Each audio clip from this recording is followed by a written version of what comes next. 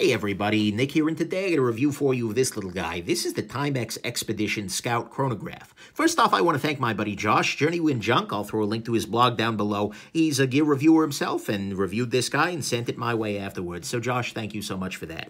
Next thing, let's do a size comparison real quick. Here it is against two other inexpensive quartz watches, Casio F91W and the uh, Casio F108. Here it is against a another nice uh, field option. This is the Citizen uh, BM80-180, and here it is against my everyday carry watch of choice, the uh, Omega Planet Ocean here. Uh, so very different watches, uh, separated by an order of magnitude of price difference, but still. And then um, here's a standard U.S. quarter, and let's go ahead and do some actual measurements of this little guy, just so we get a better sense of things. Um, then I'll use millimeters, because that's how watches are done. The uh, face itself is around 36 millimeters. The uh, Including the crown, you get to about 46. The lug-to-lug -lug distance on this guy appears to be 51 millimeters millimeters, maybe 50. Um, the lug width for uh, putting on another strap is 20.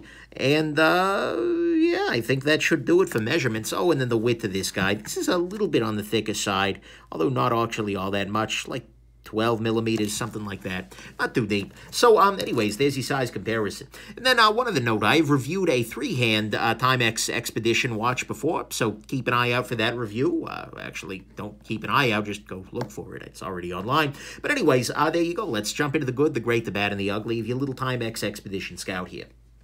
First off, on the good side, this is a quartz watch, and that is a beautiful thing. It means it's going to be very accurate, and indeed it is. You've got a long power reserve, couple of years on the battery, no problem.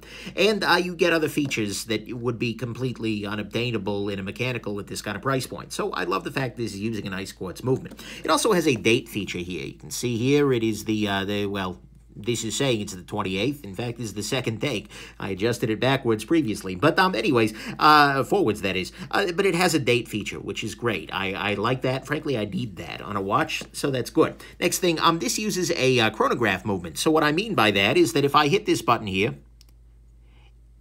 it will start and it will time, and it will time, and it will time. It'll give me 30 minutes worth of counting here, and then second hand is the big second hand there. And then actually when I stop it, it shows this other interesting feature. Keep an eye on this sub-dial right here. When I stop it, watch. It goes there, and that indicates that I paused this guy at 16 seconds, point, and then, you know, 3.5 twentieths of a second after that.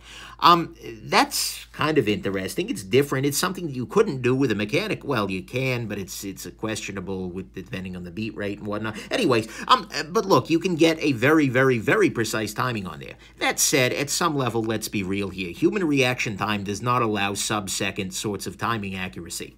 I think we've got like 200 milliseconds worth of reaction time. Easy, easy, easy. So, you know, don't put too much stock in it, but it is kind of a neat little thing.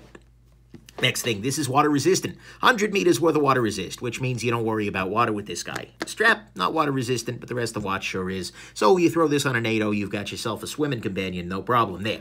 There are some nice signs of quality with the watch too. The case on this guy is brass, actual metal throughout. There's not a hint of plastic on the whole damn thing, which is something I appreciate very much, um, especially given that lower end watches can be very plasticky very quickly. Um, this has a, feeling of quality there. Similarly, you've got a nice matching branded buckle here. Strap on it is absolutely fine, complete with this little bit of threading, which tends to make things look a little more attractive. And then one little feature I'll highlight here is look at the, uh, the, the rehaut here, this ring on the outside of the watch. You can see that they've actually cut little slots in it uh, at each hour marker so that those can sit inside there. It's a little detail, but it gives the dial a little more dimensionality than you might have otherwise had, and that's something I appreciate very much. So a lot of signs of quality here. And then finally, this has an Indiglo feature. What I mean by that, and you've seen it come on a couple of times here, but if I shield the light from the watch, or vice versa, I can do this. And see here, it is now illuminating, uh, hold on, there we go, focus in. It's now illuminating the entire dial from behind. So not only can you see the hands, but you can also see the hour markers. You can also see uh, the, the chrono markers. I can start the chrono, and you can see and read the chrono even while this guy is running. And so that's kind of neat. In fact, this is the only analog chrono I'm aware of that is completely readable in the dark which is great. And in fact, if I stop the chrono, it triggers the uh, the, the Indiglo again, and if I reset it, so you can do that, and that's that's pretty excellent to me. So I, I like that very much. It's a feature that you don't get on higher end watches ever. It's an advantage of using quartz, and I think it's a Timex exclusive. You can get other digital watches that have light to them 100%. So for instance, this little guy does, but it's a different kind of light. This is this is neat. So I like that Indiglo very much, and that's that's the good. The Indiglo, um, it's got some nice signs of quality here. It has 100 meters worth of water resist, sub-seconds chrono, 30-minute chronograph, date feature in quartz. Um, and I probably should have mentioned the price. It's 60 bucks, which I think is pretty solid. That, that That's good. No issues there. To me, what is great about this watch, though, 100%, is the independent hour hand. What I mean by that is right now the watch is running. You can see the second hand going down to the bottom there. I'm going to pull the crown out to the first position. You can see the second hand is still running. The watch is still keeping time time. But watch this. If I turn this, I just jump forward an hour. And forward. And forward, forward, forward, forward, forward. It's still keeping time. My seconds remain accurate. But I've now adjusted by a bunch of hours. And in fact, if I keep going here, what you'll see, in fact, I've already done it, is that the date wheel advances as well. And so right now I can move the, the watch ahead by, oh, 1030. There we go.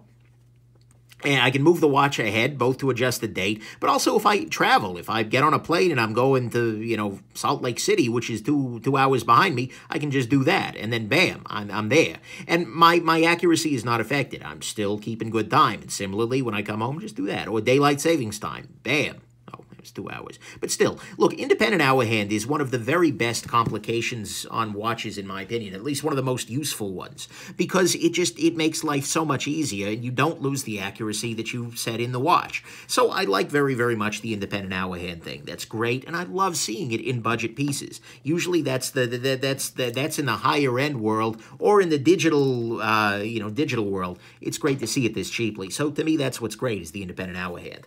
On the bad side, first off, um, the Indiglo uh, on this guy is is fine. It does not give you the date. Um, uh, that's completely a nitpick because, well, no other watch with lume gives you the date either. Actually, that's not true. I think Lange has one that does, but that's many, many tens of thousands of dollars. Um, but anyways, that's beside the point entirely. Um, eh, but that, that's a little detail, something to keep in mind. Next thing, um, this has a 30-minute chronograph. I already talked about that, but you can see here the chrono register is 30 minutes long. What this means is that this will keep time for 30 minutes. After that, it will just kind of keep cycling back around. That's not ideal, because think about the things that you might want to time. Something like a parking meter, or a pizza delivery, or a presentation, or something like that. Most of the things in my life that are worth timing uh, longer than 30 minutes. And so the fact that it just recycles after 30 minutes and you don't even necessarily know how many times it's recycled, uh, I don't know that. Um, It'll keep cycling, but yeah, I would much prefer that they had skipped the 20 second, uh, the, the 20th of a second dial and put an hour's dial right there. That way you could get a 12-hour chrono uh, very, very cheaply. And that would be much more useful for a lot of people, I think than the freaking 20th seconds gimmick, which, uh, yeah. So, anyways, a 30-minute chronograph is a little bit weird and, frankly, just isn't a great use of a chronograph. Next thing, this is a mineral crystal, and it will scratch, and indeed it already slightly has. I'll see if I can show it off. There, there, there it is. Yeah, a little scratch in there. That's just the nature of the beast with a mineral crystal dial rather than the sapphire, but at 60 bucks, I can't complain too much. Next thing, Timex makes some loud watches, especially with the chrono going. Here, let's see if you can hear it. I'll put it right by the mic.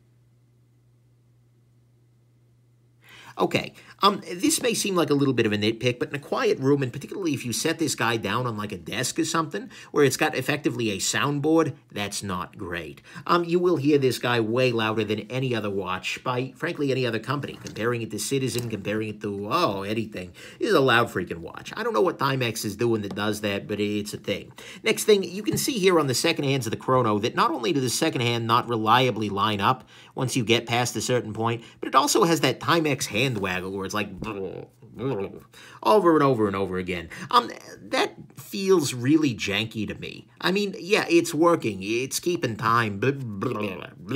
Why, Timex? Can, can we not fix this? It's a little detail, but it drives me nuts every damn time. And finally, to me, the worst thing about this watch, by a mile, is the readability of it. This watch is not super easy to read at a glance because there is a bunch of stuff going on here. You have Expedition Chronograph written in, in relatively large font, about the same size as the hour hand, in the same uh, color as the hour hand, etc. Uh, all of the stuff written on the dial, in fact, is the same color as the lume in the hand. Well, not lume, I'm sorry, is the paint in the hands there. Um, and given that you have all of these subdials as well, as well as the big second hand for the chrono with a really large counterweight on the back of it here, this is a watch that takes takes a little bit of time to read. It's not bad, but compared to something like this, which is readable at an instant anytime, I, I don't love that. The readability here is just not great. And then add to it the fact that the hands on this guy are completely dull. There is no element of polish to them whatsoever, which means that in poor light, they're going to be very hard to read and you don't even get the contrast of reflective hands against the, because uh, see here in this light, eh, the reflective hands make them a little bit stand out more. That's just unfortunate to me. And so the readability of this watch, because you've got all this crap on the dial, including the unnecessary things like expedition, chronograph, etc., just it suffers, and that's just not great. So to me, that's the bad, is that it's not a super readable watch. It has the Timex hand waggle thing. It's loud like every Timex is. Mineral crystal is eh, okay for the price, I guess. A 30-minute chrono is not super useful, and the Indiglo uh, does not give you the date. But that's not a big deal at all. Um, the ugly on this watch is that there is zero chemical lume. I, I, I this blew me away. You know, I, I, a big part of my, I'm a lume snob. I love chemical lume. I love the fact that hands will, here, I'll, I'll use this guy as an example here. Charge this up off screen here with a flashlight. But chemical lume is a substance that is applied to a watch's hands and indices that will make the watch glow overnight. Uh, so even if there's no light at all, you can still read the watch very nicely. Um, they have not done that here. This is all just paint. That, that's it. And that's not great, given you have the Indiglo thing, but the Indiglo requires two hands to do, and it is relatively bright. And so if you wake up in the middle of the night with this guy on your wrist, you don't know what time it is until you manage to get another arm and, and pop that down. Is it a big deal? No, but it is just lazy. I'm sorry, Timex. At least do something, Lume, there.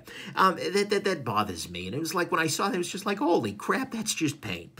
And so even crappy Lume would have been better. At least you're gesturing towards it. So that's to me ugly, is that they didn't bother with chemical lume. This makes it okay, but uh, lazy, lazy, lazy. Um, let's go to the final conclusion here. And my final conclusion is that, well, this isn't a jewelry watch. I mean, there's not a single polished surface on this. And although it'll work fine with some looks, it may not be the peak of high fashion either, not that I'm a good fashion critic. This is instead a function-first sort of wristwatch. It keeps the time with relatively little fuss. It happens to include a, a chrono, which is a nice touch for some, and it's got the Indiglo thing, which can absolutely be nice, especially if you are underground as a mole person for many weeks at a time without the ability to charge a chemical lume. Sorry about that. Um, the price on it is absolutely fine. It's 60 bucks, and you know what? But the independent hour hand is great. I that I have to give Time Timex credit for that. If they're bringing that into their lineup, that is great, and that is huge. I hope they standardize it throughout. But for me, I'll be honest, this watch is kind of a miss, because I don't really need the chrono on this guy. Usually I'm timing things longer than 30 minutes anyways, and I do have a stopwatch on the phone that works fine for the rare occasions where I am timing something. And the legibility on this guy as a result of having all the subdials along with all the text is just not stellar.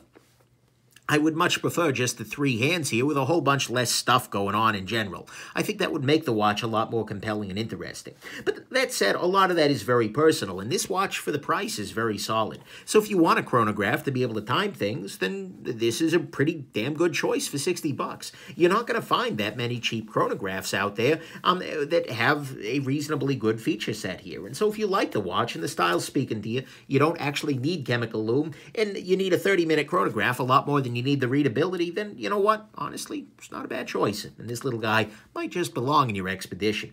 Anyways, hope this is interesting to you, that you had a good time, and that you enjoyed watching this video, and mostly that you have yourselves an absolutely wonderful rest of the day, easily measured in 30-minute chunks. Have a good one, everybody. Bye now.